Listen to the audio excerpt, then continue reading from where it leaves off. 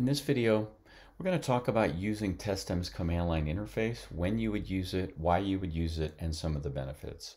Before we continue, we're going to assume you have a login to Testim, you've logged into the platform, and you've created some tests. So let's get started. So the first thing I wanted to point out was the documentation here with Testim's command line interface. So as you can see, really the prerequisites are you have to have Node.js installed and it has to be greater than version 10. So if you go to your workstation, of course I'm here on Mac, it might be slightly different on Windows. We can see that I'm using uh, more than adequate, much greater version of Node, so we should be fine there. And this is where I would actually go and install the Testim npm package globally. Okay, so go ahead and run that command. Once you've done running that command, you can run this command to validate that you have the right version and we can see that this is the most recent version, so that's great. Okay, so you might ask, well, why would I use the command line interface? What does that really do for me? Testim's command line interface allows you to execute tests against the Testim grid or really against any environment you want. So it's very flexible. If we look in here at a specific project, if we click down here on settings and we click on CLI, this is essentially where I would use the command line interface. So here is where I can get a basic code snippet and start running tests. If we look at the documentation here and scroll down a little bit, the two critical things you're going to need are you're going to need your project ID and your token ID, which if you click on this um, toolbar, gear bar, and then click on CLI, this is where I can obtain my token and my project ID. Okay.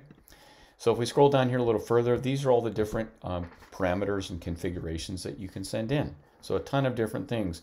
If I wanted to run tests that were associated with a specific label, I could do that. If I wanted to run an individual test, I could do that.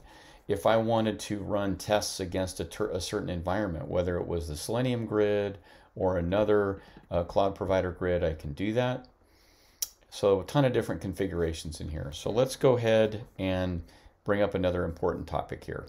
So if you're on a Mac and you're running the command line interface uh, from your local workstation, what I recommend that you do is, you know, you can copy these commands, but export your token into your .bash underscore profile. You can source it, and then when you're done with that, um, you can run this command. And this is just a good practice because you're not going to be exposing any sensitive information, tokens, uh, project IDs, things like that. So in this particular example, we're actually passing in a test plan, okay? We're determining the grid that we want to run on. We're saying we're going to run across four VMs in parallel. Mode is Selenium. We're passing in a result label. This can be used for uh, reporting later, which I can show you. And then we're passing in a report XML file, which is in a JUnit format, which really could be imported into whatever um, testing system that you want. So if we come over here, we can see that all of these tests now have been executed and they're running in parallel across all of these browsers. Again, keep in mind this is an example. This is also running locally from my workstation.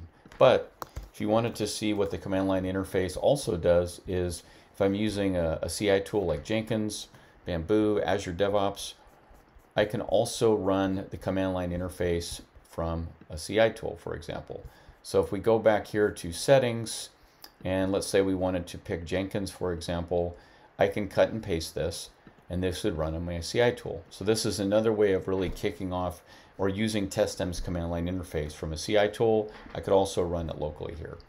You might also wonder, well, what if I have a CI tool that's not listed in this list? As long as we have the CI tool you're using has access to a shell and you can actually install Node and our npm package, you essentially can run tests that are going to connect and run on the Testim platform from essentially anywhere. So hopefully this provided a nice overview of when and why you would use the Testim command line interface. Go out to our website or reach out to us if you have additional questions.